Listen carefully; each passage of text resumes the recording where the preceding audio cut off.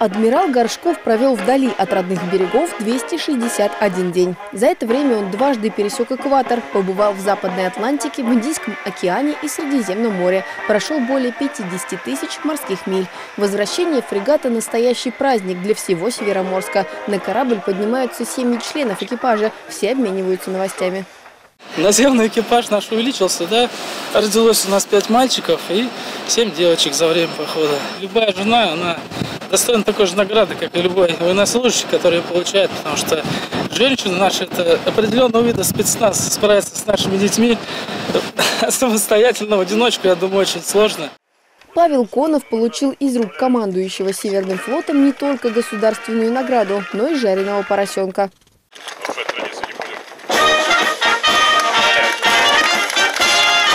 Александр Моисеев поздравил моряков с успешным завершением похода. Он отметил важность участия корабля в международных учениях. Присутствие таких кораблей в оперативно важных районах для нашего государства, где и находился данный корабль, оно крайне важно. Это и, с одной стороны, гордость, но а самое главное, он решает серьезные государственные задачи, в том числе и военные задачи.